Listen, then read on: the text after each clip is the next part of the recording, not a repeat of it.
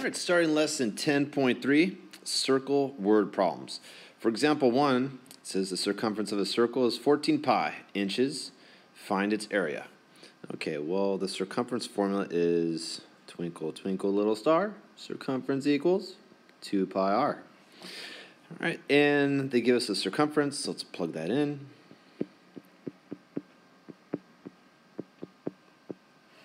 And then we divide by 2 pi. Mm-hmm. R equals 7. Okay, cool. Now the area formula is pi r squared. So now I plug r in. I get pi 7 squared. So the area is equal to 49 pi, and it's going to be inches squared. Done. All right, for the next problem, the area of a circle is 169 pi yards squared. Area formula is pi r squared. Okay, they give me the area. Let's plug that in. I could solve for r. Could solve for r. All right, divide by pi. I have 169 is equal to r squared. So r is equal to 13. And now I need to figure out the circumference. So once again, twinkle, twinkle, little star, circumference equals 2 pi r. All right, so we plug r in. Circumference is equal to 2 pi times 13. So circumference is equal to 26 pi. And it's going to be yards. Done. All right, on to some new ideas. A figure is inscribed only if it touches the sides of another figure. So here's an example below here.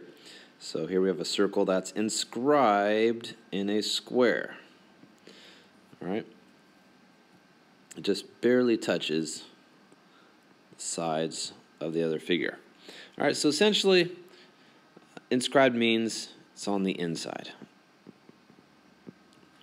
All right, a figure is circumscribed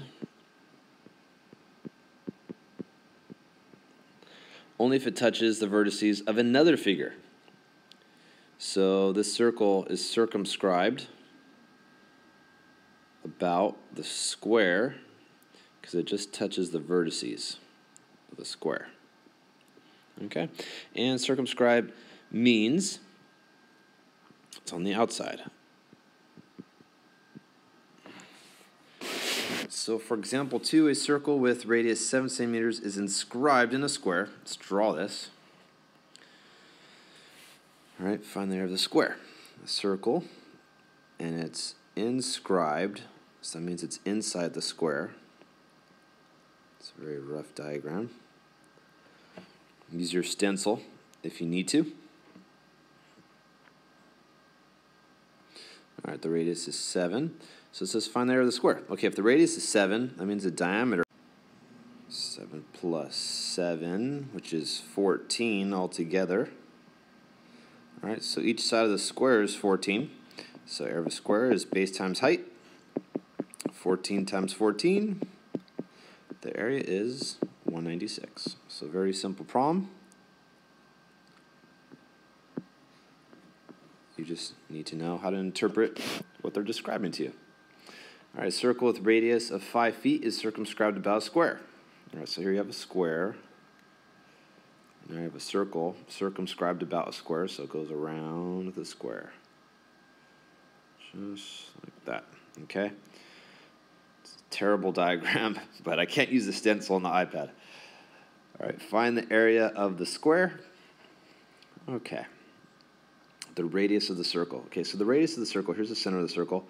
You're not going to go this way, all right? Because then we're essentially passing through the square, and the measurements get a little funky there. So you're going to do this. This makes more sense. I'm going to go straight to the vertex of the square. All right, and then that touches the circle, so that's 5 there. All right, I'm going to go the other direction as well. That, that's 5. All right, now this isn't the most accurate square, but a square is a rhombus, and the diagonals are perpendicular, so I get a right triangle here. Right? And so I have an isosceles, right? Isosceles right triangle. And if that's the case, then both of these angles here are 45 degrees. So then I can apply the properties for 45, 45, 90. This is going to be 5 squared of 2. So find the area of the square. Well, that's 5 squared of 2. This side as well as 5 squared of 2. All right, so both of these sides here are 5 squared of 2. So once again, area is base times height. So 5 square root of 2 times 5 square root of 2. So that gives me 25 times 2. The area is 50 feet squared. Done. All right, simply stated, a ratio is a right, is a fraction. Or is very often written as one. Okay, so example three. What is the ratio of a circle's radius to its diameter? So the radius to the diameter. All right, so you're looking at this now and you're saying R over D. Okay, what am I supposed to do with this? Now, how can you relate R to D? Well, you know that D is equal to 2 times R. All right, and now you have a fraction you could simplify. So the R's cancel out. And make sure you do not write 2 as your answer now. It's 1 over 2. All right, watch out for that. So that's all there is to it. That's what the ratio simplifies to. For part B, a square circumscribed about a circle. What is the ratio of the area of the circle to the area of the square? Mm-hmm. Okay. Now, notice that they don't tell you anything about the radius of the circle. They don't give you any numbers in this problem. So often students are just reading it and saying, well, what do I do?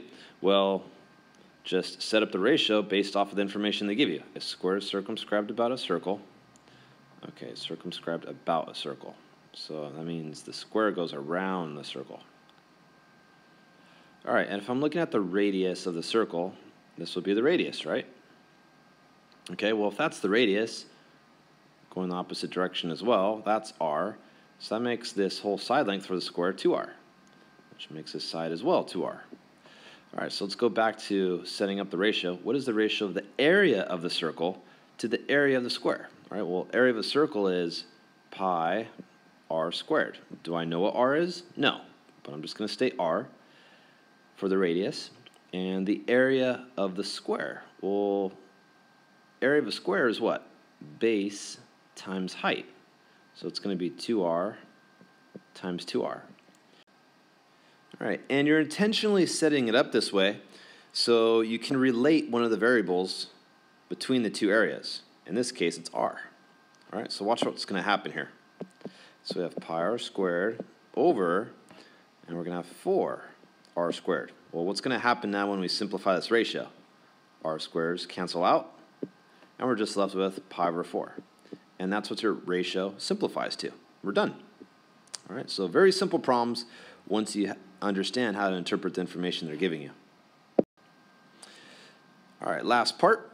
When the motion of an object makes a complete circle, it is referred to as making a revolution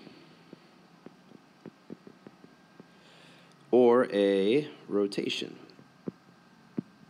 All right, same thing. All right, when a circle moving forward makes one complete rotation, it has traveled its circumference.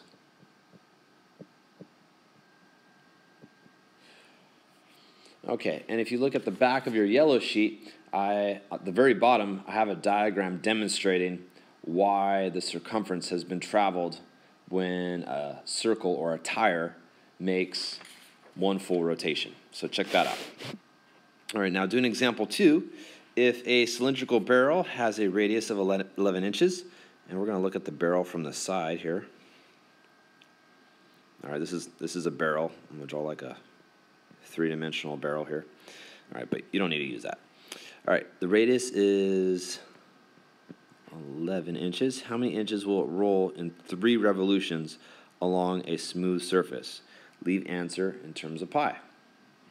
All right, well, we know that one revolution essentially is equal to the circumference, 2 pi r. All right, this is a very important formula now. So if I'm going to travel three revolutions, multiply by three on both sides. So three revolutions would mean that I've gone 6 pi r.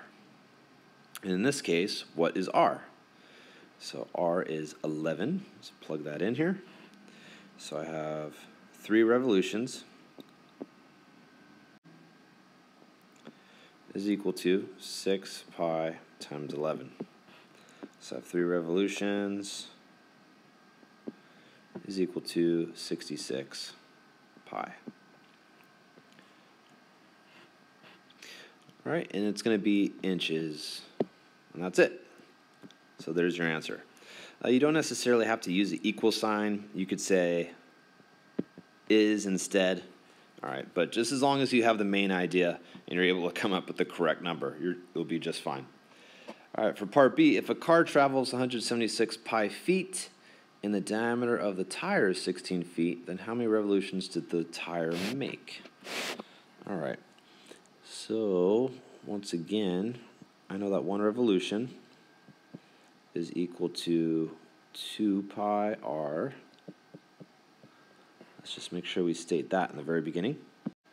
All right, now they tell you that the car has traveled 176 pi feet and the diameter is 16 feet. So if the diameter is 16 feet, then the radius is 8 feet. All right? So now I'm going to plug the radius in here, and that's going to tell me how far the car travels in one revolution. So it's going to be 16 pi. All right? So now here's something you could do. You could set up a proportion to allow you to figure out the total number of revolutions the tire made. So I know that one revolution is equivalent to traveling 16 pi feet, and that would be equal to x revolutions traveling how far? 176 pi feet. All right, so here's the key proportion that's going to allow you to figure out how many revolutions this car has traveled. All right, so I'll cross multiply here. And at this point, you don't have to really worry about the revs. All right, let's just focus on the numbers. So I have 176 pi is equal to 16 pi x. Now I divide by 16 pi.